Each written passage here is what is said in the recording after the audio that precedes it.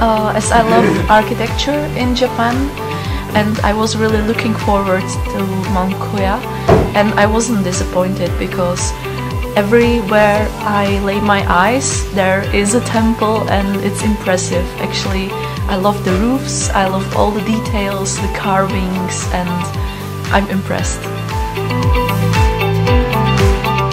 It's really uh, really an amazing experience to be here to be honest. I've been to so many countries and never have I seen something like this and it is so pleasant to, to be here. Thank you so much. あり